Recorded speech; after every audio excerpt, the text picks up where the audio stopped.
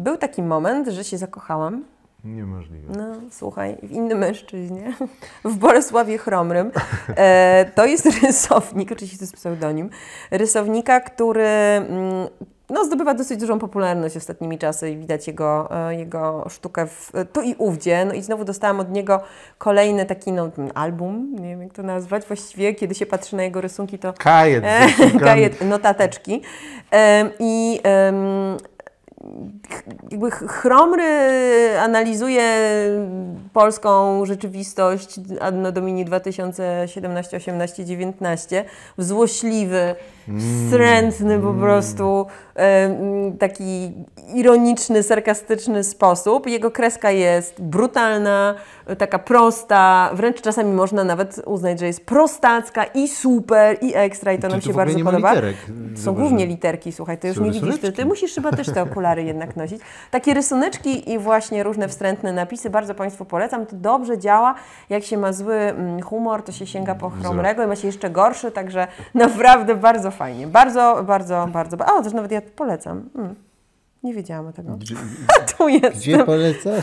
Książka byłaby lepsza, gdybym znalazła się w gronie sportretowanych ludzi, których trzeba znać, ale nawet mimo tego braku polecam ją wziąć sobie do serca wszystkim Polakom, także tym prawdziwym. Testy na polskość w środku. Polecam, Anna Dziewit. No to jak ja to Anna napisałam, to, to ja to Annę muszę Dziewit. polecić. Zupełnie zapomniałam, że to polecałam. No bo wiedziałam, że mi się to podoba. A tej książki akurat nie polecasz, ale my ją polecimy. O, E, to Opowieść świetna. o e, Józefie Konradzie i narodzinach globalnego świata. To jest po prostu atlas. Atlas świata, atlas świata zglobalizowanego.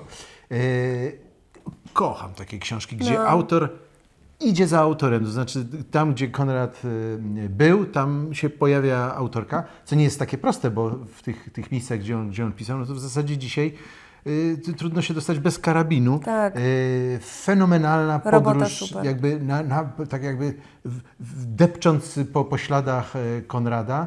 Y, bardzo polecam. To jest dopiero cegła na, na, na, na okres. Ale to się e, czyta, miałam wrażenie, wiesz, jak taką po prostu taki page turner, po prostu to jest tak napisane, z takim biglem, że wiesz, lecisz, lecisz. Nie no, musisz, tak, rzeczywiście, bo Prawda. można e, zaczynać te podróże z Konradem niekoniecznie Tak, chronologicznie, to ale prawda. sobie Taki anglosaski rodzaj tytułami. pisania, y, który bardzo lubię, no, y, ba, bardzo mi się podoba.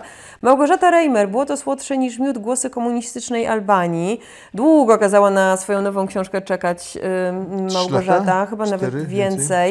Y, Przeprowadziła się do Albanii mm, po sukcesie swojej poprzedniej książki o mm, Rumunii, o Bukareszcie.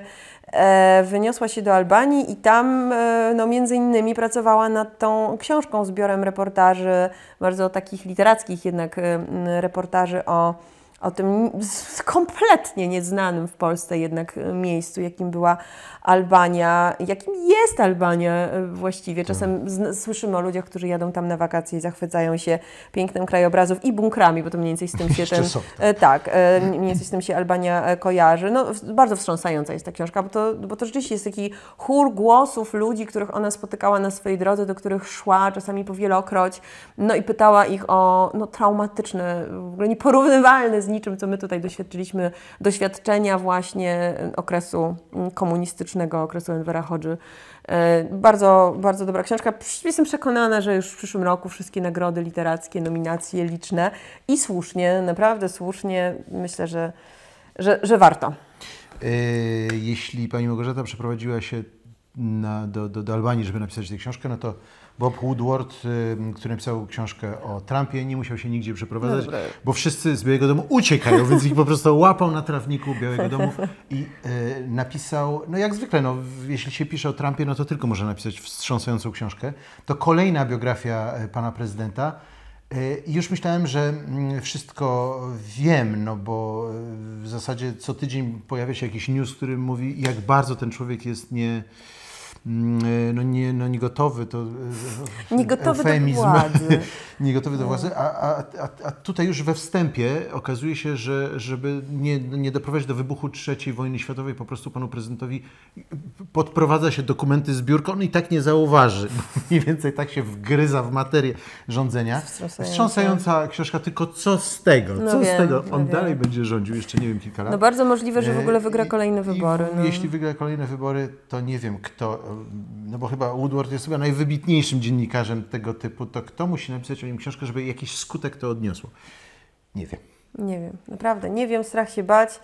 Tymczasem, póki jeszcze można Się nie bać. się nie bać i można podróżować, to ja polecam Państwa Tu- dzieciom, tu- tak. Państwa dzieciom, książkę wydaną przez naszą księgarnię. Nazywa się ona Atlas Miast. Jest to tak zwany picture book, czyli książeczka. No, ja to bardzo lubię, wiesz, lubię te picture booki, bo, bo one są takie mm, wszechstronne, paluszkiem. paluszkiem po, po, po stronach. O różnych y, miastach y, świata, y, od Oslo przez Helsinki, Tokio i co tam sobie Państwo wybierzecie, miasto Meksyk, San Francisco i tak Półtusk, dalej. Tu- Mława. Półtusk, Mława. Znowu, szczegóły, drobiazgi, informacje, podpisy, świetne rysunki, poczucie humoru, ogromna porcja wiedzy, bardzo ładnie e, podana, e, ciekawa. Naprawdę dzieci uczą się w ten sposób, zapamiętują bardzo dużo. My ostatnio, bo już jest z czytaniem samodzielnym u nas znacznie lepiej, bawimy się w zabawę taką, która polega na tym, że na takim właśnie picture booku mówimy, a znajdź ty mi drogi mój to i tamto i on I wtedy szuka. I, on. I można sobie wtedy na przykład poczytać Małgorzatę Reimer. To jest naprawdę bardzo dobry pomysł. Polecamy Państwu Atlas Miast i wszystkie poprzednie książki.